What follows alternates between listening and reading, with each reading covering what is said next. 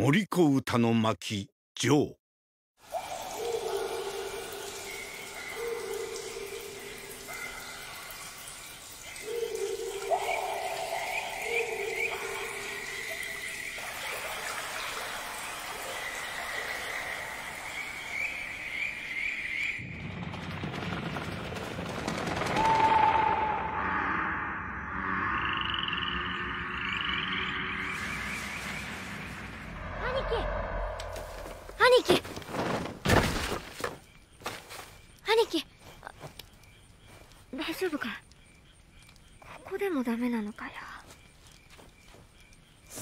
すぎて怖いくらいだけどな。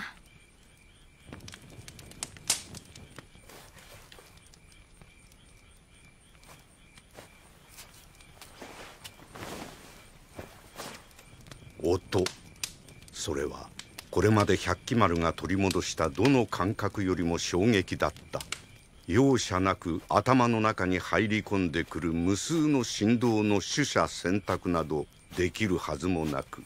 百鬼丸はただ音の洪水に溺れていた。兄貴やっぱり今回のあやかし退治はやめとこうか。礼金いいからもったいねえけどこんな調子じゃ。出たのか？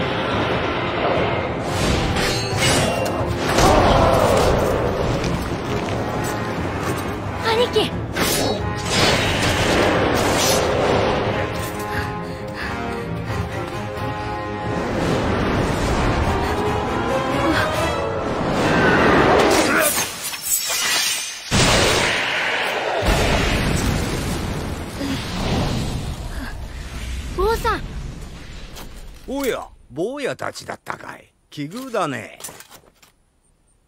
兄貴。兄貴。しっかりしてくれよ。兄貴。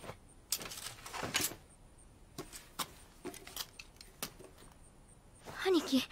兄貴。はい。そうかい。耳がね。そいつはよかったじゃないか。よくなんかね聞こえるようになったせいで兄貴弱くなっちまった。そうかい？だって坊さんでもあんな簡単にやっつけられるあやかしにこんなにやられちまってさ。こいつはご挨拶だ。なあ兄貴大丈夫だよな。キューバはしのいだよ。本当なら薬が欲しいとこじゃあるんだが。おいらひとっ走り行ってこようか。川向こうに大きな町があるはずだ。およしどうやら戦がありそうだからね。危ないよ。え？この辺りを治める堺って武将が同盟国を裏切ったとかでね二つの軍が睨み合いさね。そんなとこにあたしらみたいなよそ者が近づくのは剣能だ。で引き返してきたとこにさっきの騒ぎってわけだ。くそ！武士ってのはなんでそんなに戦が好きなんだよ。あうるさかったか。ごめん動くんじゃないよ。傷が開いちまう。まったく穴蔵にこもった手負いの獣ってとこだね。いいかい？これは人の声だ。周りにあるのは森に生きてるもんや。火や風の音さ。お前さんは慣れなきゃいけないよ。穴蔵からこの世に出るためにはね。兄貴怪我人なんだぞ。無理させんなって。兄貴はまだ仏さんになるわけにはいかねえんだからよ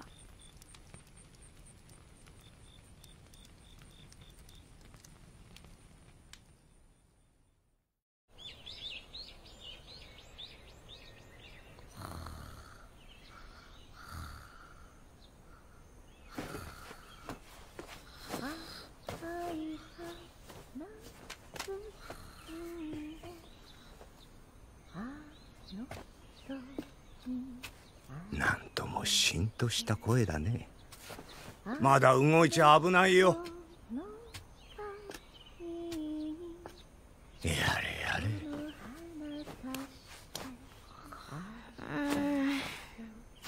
こんな辛いの食えね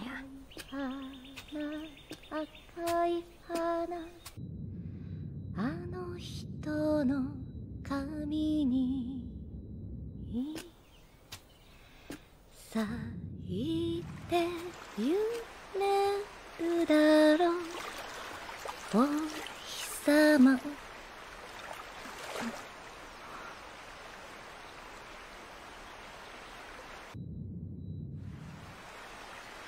怪我してるの？大丈夫？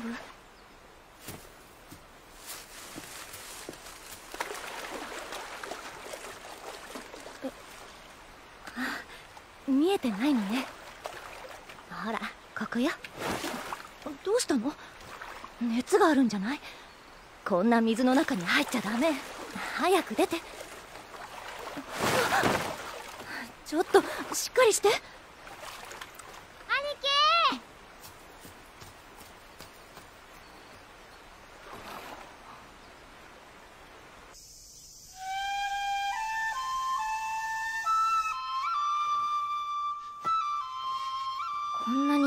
ってる兄貴初めてだ。まあ怪我のせいもあるだろうが鬼神からいろんなもん取り戻したようだからね。頭が追っつかないのかもしれないよ。これ古着解いたのだけど綺麗だから使って。すまねミオさんだったか。邪魔しちまった上に面倒かけて悪いね。そんなこと治るまでいてもらって大丈夫だから。いいのかい？もちろんここにはあんたの兄さんみたいな子もたくさんいるから安心して。みんな慣れてるから。え？みんなこそこそしないでちゃんと挨拶しなさい。ほら。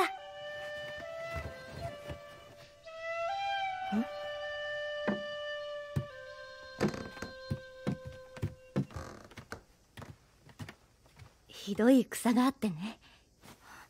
家も何も全部なくなってしまって。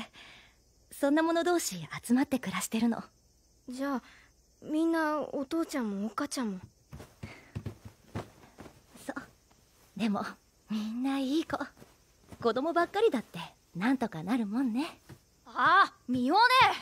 まだ起きてんのか。ほらどいたどいた。ミオね今のうちに寝とかねえと体持たねえぞ。怪我人は俺が面倒見っから早く寝ろって。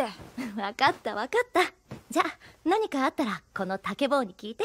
早く。朝飯用意してあるからちゃんと食ってから寝るんだぞ。はいはい。お前たちの朝飯もある。芋がゆだ。食え。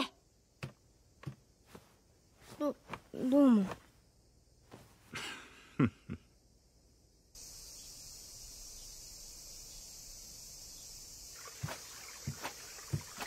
なんか手伝うことねえか？いいって。お前は怪我人見てろ。いやただで世話になるわけにはいかねえ。飯代ぐらいは働くのが筋ってもんだ。はあ。結構関心じゃねえか。兄貴兄貴ってベソ書いてたくせに。な書いてね全然書いてねえぞ。これっぽっちも。ミオ姉が起きちまうだろごめん。でもなんでこんな時間に寝てるんだ？夜に働きに行ってんだよ。堺様の陣いつ戦になるかわからねえから。一晩中誰かが起きててその世話がいるんだってさ。夜の方が賃金がいいし宮姉は働きがいいから食い物ももらえるんだぞ。だから昼間は寝かせてやらねえと。へえお前も結構関心だな。坊さんどっか行くのか？ああ戦場を避けて通る道がないかと思ってね。ちょいと行ってくるよ。戻らなかったら獣道でも何でも見つけたと思っとくれ。じゃ。ああ。なんだ。連れじゃなかったのか？時々会うんだ。妙な坊さんでさ。また戦になんのかな。さあここも危ねえな。くそ国境における堺の陣には未だ動きはなく膠着状態が続いております。このまま続くのであれば新たに兵糧を送らねばならぬかと。その程度の蓄えはあるわはあただもう一月近く雨がございませぬ。この時期ここまで降らぬのは珍しきことなれば万が一のための備えは必要かと我が領土において凶作などありえぬ。はあ。そうでございましょうか。僕。酒井殿のことにこたびの日照り続き。それに今年は山崩れもございました。まるでかつてのこの国に戻ったような。何が言いたい。私どもは国ごと小さな礎一つの上に乗っていることをお忘れなきようにといつ崩れてもおかしくはありませぬ堺 ごとき小国早々に肩をつけるよう申し伝えよ。はあ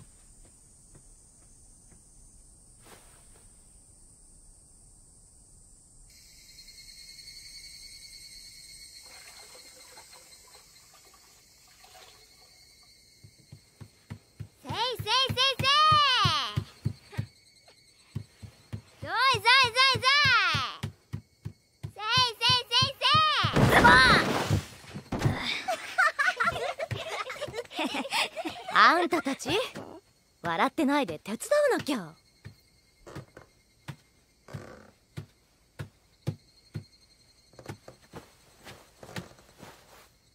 百鬼丸具合はどう？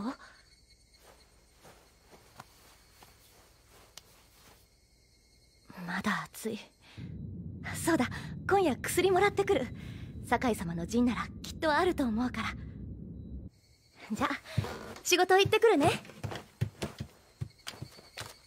もうちょっとしたら夕飯だってさ。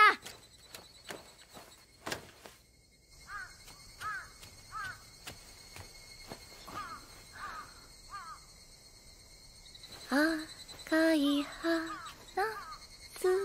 摘んであの人にあげよあの人の髪にこの花兄貴。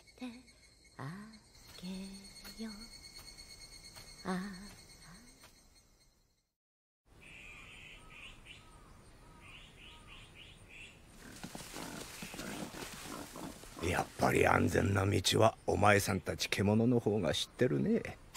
これなら。おおこいつはいい場所だ。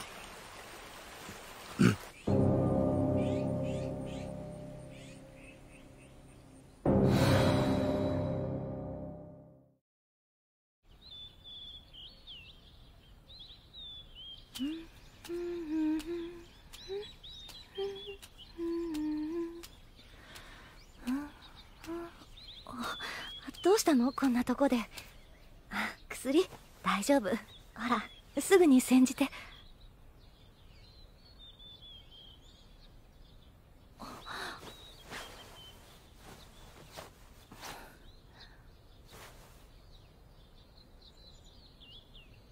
不思議ね。なんだか見えてるみたい。ずっと奥の方まで。見えてるよ。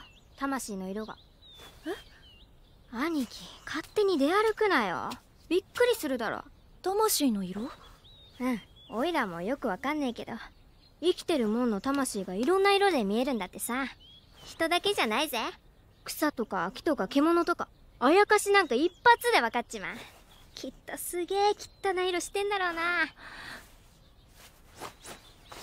そう。ん？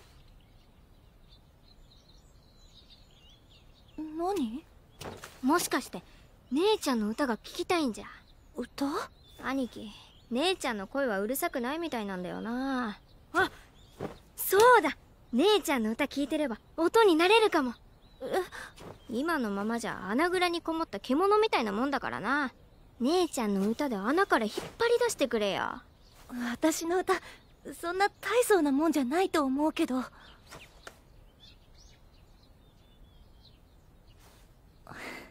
じゃ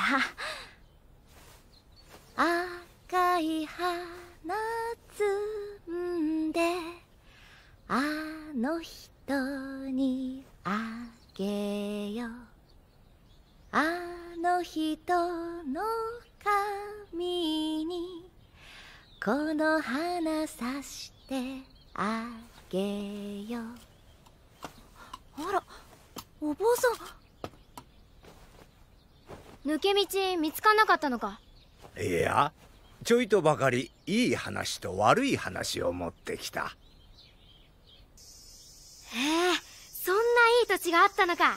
あそこなら戦があったってそうそう焼け出されることはないだろうよ。ちっとばかし舐めてみたが土も悪くなさそうだ。ミオネ行こうぜ。そこに住もう。喜ぶのは早いよ。実はその土地には大家がいるのさ。大家？今空き地だって。鬼神さ。ありゃ相当だよ。迂闊に手を出すのは剣能だ。なんだよ。鬼神って化け物か？ああ。ただのあやかしなんかよりよっぽど強いんだ。そう。おい兄貴。まさか鬼神退治に行くつもりか？え？待てよ。そんな足じゃ無理だって。坊さんそのつもりで話したところはあるにせよまさか怪我も治らないうちにとは思わなかったかね。せっかちだね。坊さん兄貴のこと頼むぞ。私も頑張ってみよう。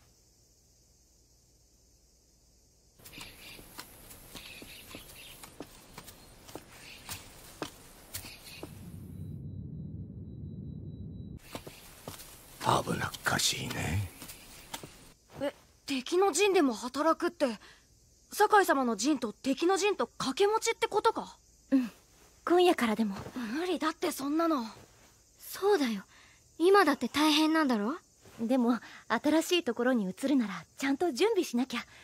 土地だけあってもしょうがないでしょ？そりゃそうだけど。大丈夫。戦でたくさんなくした分戦から取り戻すだけ。ミオネさあそうと決まったらたっぷり寝とかないと。それじゃおやすみ。ああ。ミオネこうと決めたら頑固だからな。でも酒井様の敵陣には荒くれ者が多いって聞くし。よしオイラがついてってやるよ。お前が？だったら俺も。ダメダメ。お前はみんなの面倒見なきゃだろ。大丈夫あんまり大変そうだったらやめさせる。そっか。頼む。戦から取り戻すか。いいじゃねえか。オイラたちだって侍から取ってやればいいんだ。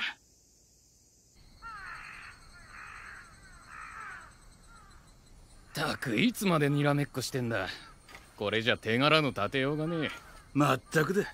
こんなど田舎じゃクソ以外にすることねえや。お兄さんたち。あ？働かせてほしいんだけど。あれ？ミオネどこだ？わかるだろ？